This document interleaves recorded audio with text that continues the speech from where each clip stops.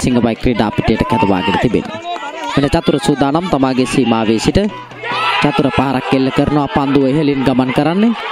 පන්දුව රැකගෙන වෙන පන්දුව අතින් අත හෝමාරු වෙන ආකාරයක් අපට දකින්නට ලැබෙනවා.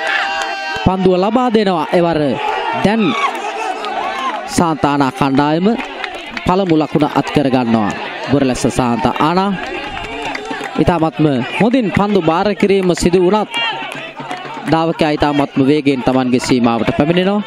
ලකුණක් දැන් බොරලැස්ස සාන්තානා කණ්ඩායමත් කරගන්නවා.